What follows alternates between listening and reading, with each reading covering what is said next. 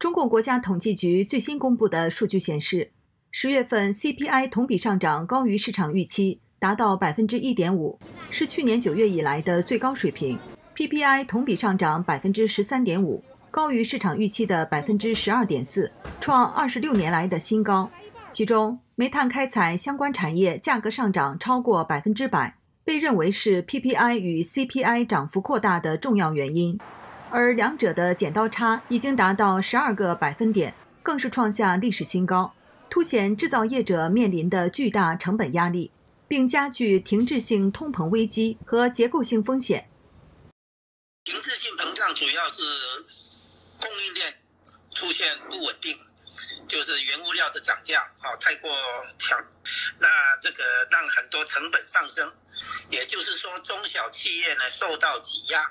成本上升，价格却拉不上去，就会有这个减产，甚至于破产、裁员这这样的一个情况。消费者为了应付通货膨胀，大家可能要预先开始囤积物物资，这样的那个预期心理会造成价格本身就上涨。在日前举行的记者会上，统计局发言人傅林辉称。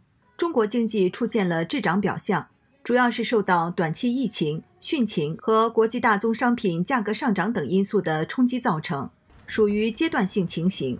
大纪元专栏作家王鹤认为，即便统计局声称的短期因素能够解决，但中共长期全面干预经济活动的制度性结构问题，特别是近年来各种强硬政策造成的经济和社会心理冲击难以消除。现在这个政策经济的负面影响是非常强的。那么呢，在走到明年二十大这段时间，中共的政策会怎么变化？这种僵硬、强硬的调控政策，一天打垮一个行业的这种突发性的政策，它是会得到回调，呃，放缓，或者说呢，还是继续下去？这个成了最大的未知数。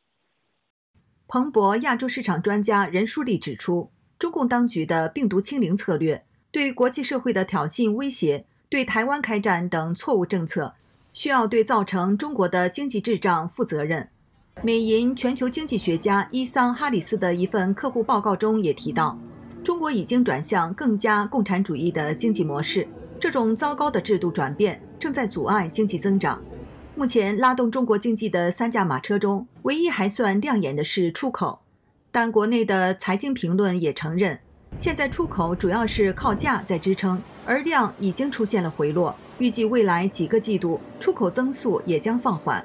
投资方面，十月份房地产活动全面继续走冷，基建低迷。更为疲软的是消费，社会消费品零售总额同比增长仍然慢于经济增速。香港金融分析师李新明认为，能源的上涨已经部分传导到了下游，生活成本的上升会减少老百姓在其他领域的可支配收入，从而进一步影响消费。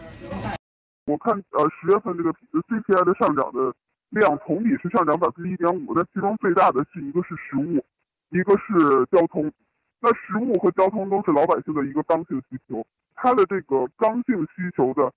上涨幅度之大。其实是对呃老百姓的这个生活质量有很大的这个负面影响。前人大财政经济委员会副主任委员贺铿向路透社表示，中共二十多年的扩张财政政策，使得最终消费率一度降到百分之四十五点五，比世界百分之六十五的平均水平足足低了近二十个点。他认为，如果居民收入水平不提高，中国经济一定会进一步下行。